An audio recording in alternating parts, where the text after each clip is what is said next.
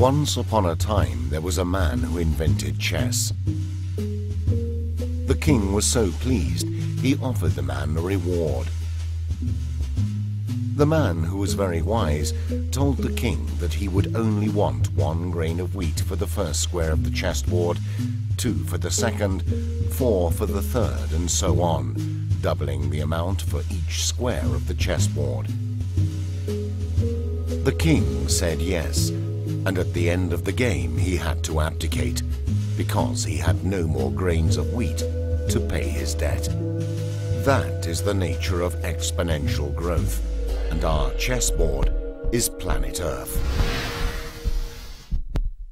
Forty years ago, a report by a team of scientists from the MIT shook the world.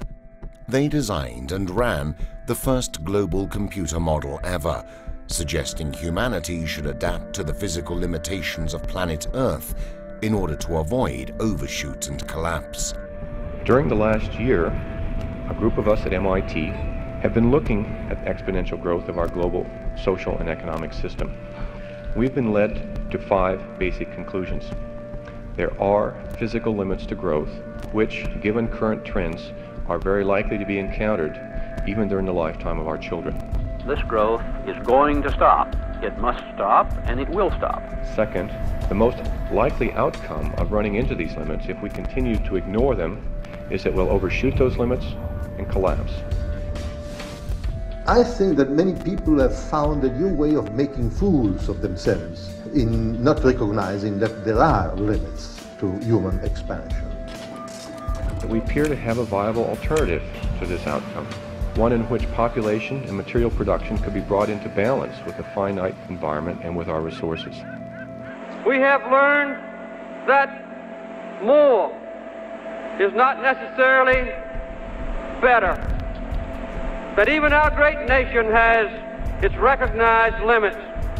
Fourth conclusion is that it's realistically going to take 50, 100 years or more to reach that alternative in an orderly fashion.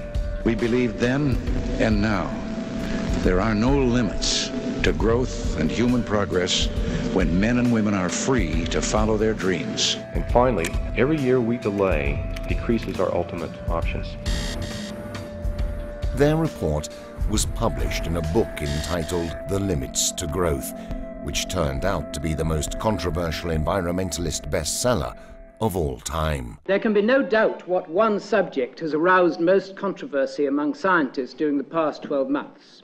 I mean, of course, the prospect of doom for mankind because of pollution, overpopulation, overuse of resources. Well, I think that, this, that the conclusions of this study are completely wrong. If you check uh, what happens if you vary all your assumptions together, then uh, I understand from the uh, Science Policy Research Unit at Sussex, who have actually been checking your model, the catastrophe disappears altogether.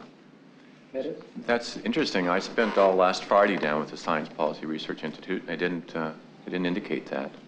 well, um, you know, this is developing debate who spoke to them last. I spoke to them this morning. After having spent 40 years fighting for their message, the authors gathered where the Limits to Growth saga began.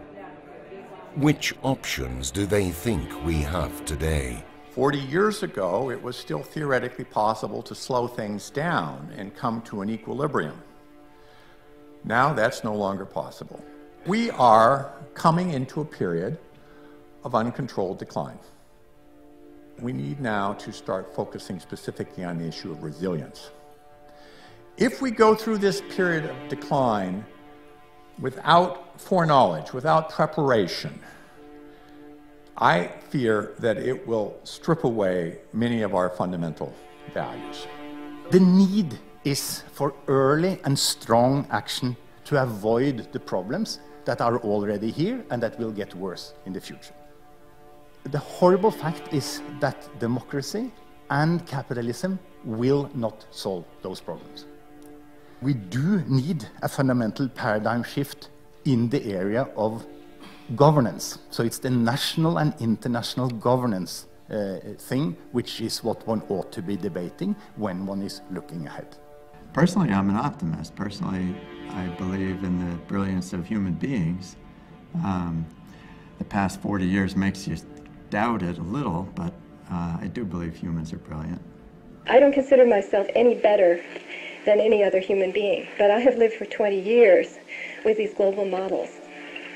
And I can see, I, I, I instinctively understand the global results of personal actions that I take. And I know what kind of world I want to live in.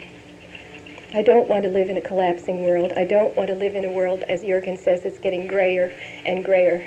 And it costs more and more and more to maintain even a decent standard of living. I want to live in a sustainable world where there is no poverty, no hunger, and no erosion of the Earth's resources. According to the Limits to Growth authors, the environmental and economic crisis we are going through are part of the same global crisis. They don't hold the truth, and they have different views on the future, but we should listen to them for the sake of new generations.